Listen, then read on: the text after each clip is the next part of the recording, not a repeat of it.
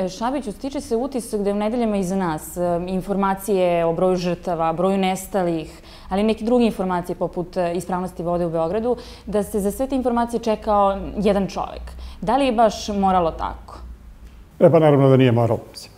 Bar to što vi doslovno naglašate sigurno nije moralo. Dakle, imamo zakon o slobodnom pristupu informacijama, zemlje smo koja ima nekakvo iskustvo u tom pogledu. Dakle, imamo pravo građana, pravo javnosti da dobijaju unačilo svoje informacije o radu ili već s radom organa vlasti. To pravo je apsolutno nesporno. Ono je posebno nesporno u situacijama koje su vanredne. Dakle, onda kada po logici stvari interesovanja građana za određena pitanja raste. Poput toga, je li voda zdrava, poput toga koliko ljudi je nestalo, evakuisano, poginulo. I normalno bi bilo dakle, da svi organi vlasti, osim dakle, one redovne obaveze, da, da korektno odgovaraju na zahtjeve za pristup informacijama pre svega medija, ali razume se i građane, da čine i jedan dodatni napor da te informacije nude na proaktivnoj osnovi. Dakle, s pojačanom ekspeditivnošću i efikasnošću. Najbolji način u vremenu u kojem živimo to je objavljivanje na zvaničnim elektronskim prezentacijama, dakle na web sajtovima i to objavljivanje dokumenta.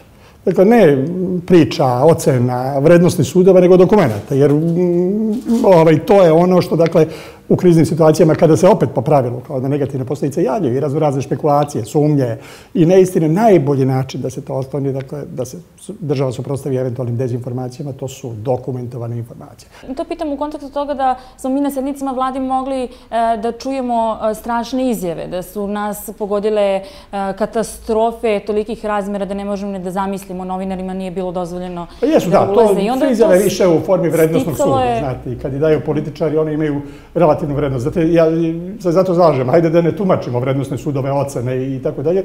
Hajde da... Naravno, ali ljudi su povezivali pa to jesu, Naravno, neki jesu i to je također stvarilo jedan kompleks koji je posle pravio i izazivo neke, neke druge probleme. Ali upravo zato se zalažem za dokumentovanu informaciju. Kad to nije tako, onda kreće, e, kreće ovaj, ono s čim smo se suočili. Pa to, I također, dezinformacija uopšte ne mora da bude plod nekog e, namjernog dezinformisanja, želje da se širi zlo, želje da se izaziva zabuna, panika i slično. Ona također pa možda bude nekakva spontana reakcija nekog ko ne razume, nekog kome se nešto čini, ali u svakom slučaju šteta tu. Dakle, organizovano društvo na taj problem, dakle, na taj problem eventualne panike, eventualnog nemira koje mogu izazvati neke informacije koje stižu iz izvora koji nisu zvanični, odgovara uprava zvaničnim informacijama. Naglašavam do dokumentovanim. To je mnogo bolje sredstvo nego krivični progon tih ljudi. Da li bi e, u tom procesu trebalo da reaguju, ne znam, ili savjeti za štampu ili neke druge regulatorne tijela u medijima, jer su se e, informacije o broju mrtvih e, ljudi koji plutaju ulicama Brenica... No, dobro, pojavljivali u medijima, svako razno razne kataklizmične procene i tako dalje i tako dalje. I u tom kontekstu zaista ideja da se znate nekakve pojedinci koji su na svom face profilu ili slično, lansirali slične veste, da se oni gone zbog izazivanja panike u situaciji, razumete, kad su im pod navodnicima konkurenti mediji koji sasvim sigurno imaju neuporedivo veću čitanost, izgleda gotovo, mm, gotovo nesvatljivo.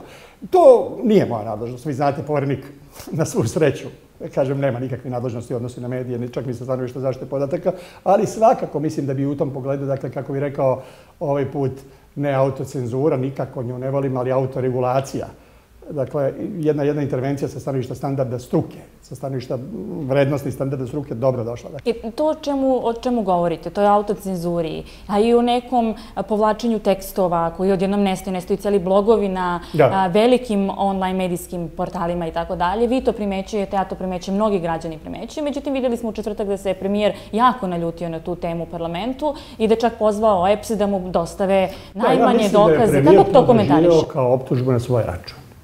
A to nije tačno. Dakle, naravno, Perrier je dao dobar primjer. Dakle, postoje listovi koji pišu oštre tekstove prema vladi na čini on čelo. Malo je verovatno da bi on mogao, dakle, pozivam telefona da natre urednika ti novine da skinu neki tekst, zato što mu se ne sviđa.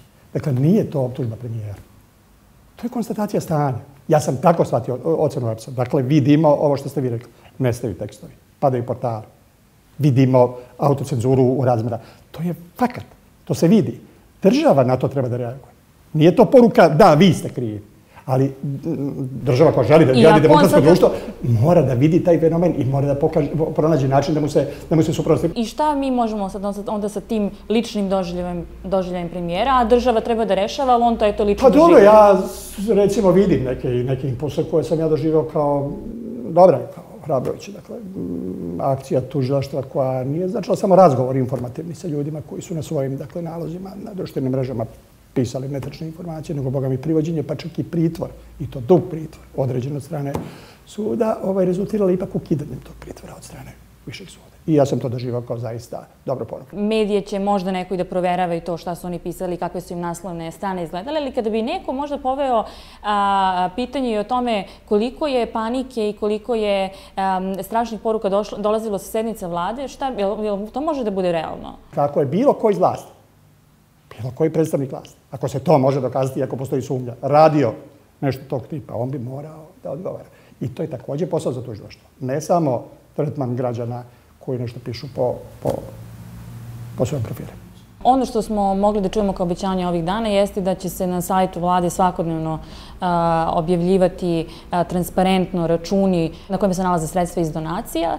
A, to smo mogli da vidimo i to smo se uverili. A šta mislite da će biti sa izveštajima o trošenju tog novca? Da li bi oni tako jednako trebalo da budu transparentni i pa, objavljivani svakog dana? I moram da kažem, dakle, prve adekvatne impulse imamo, to je, to je ohrabrujuće. Počeli su se pojaviti neke informacije koje nema, sve su redovnije i to je, to je sumnje dobro, to niko ne može dovesti u pitanje.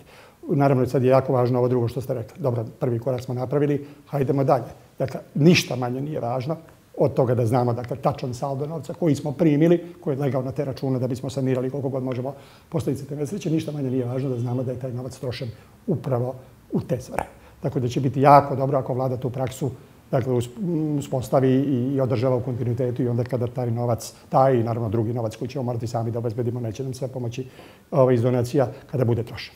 Šta prolazi pored nas onako gotovo neprimetno? Sada imamo sve ove priče, svedoci smo dve nedelje priče i o poplavama i o sada većoj cenzuri i tako dalje, a pored nas prolaze brojne... Dobro pitanje, znate kako? I zaista je vreme da se konsolidujemo i dakle da nastavljajući sve akcije na saniranju tih katastrofalnih posljedica, dakle da se, ovaj, da se u žižu javnosti počne vraćati neke druge teme.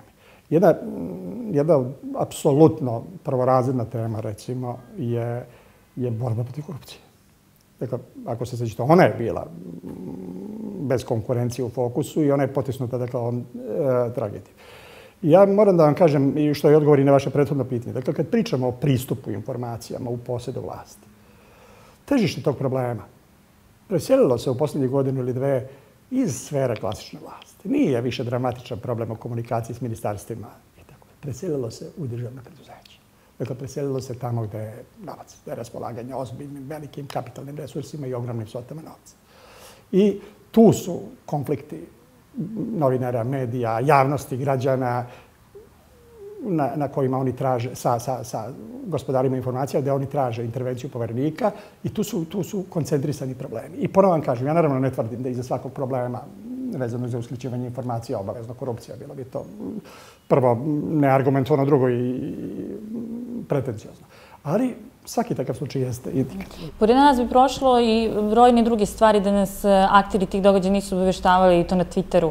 Da Saša Janković nije na Twitteru se poželio da mora da otpusti 20 ljudi i mi to ne bismo ni znali. Drago mi je da ste me to pitali. Znate kako, mi po pravilu imamo nedovoljno ljudi na mestima gde su oni stvarno potrebni, a višak ljudi tamo gde su malo potrebni ili su potpuno nepotrebni.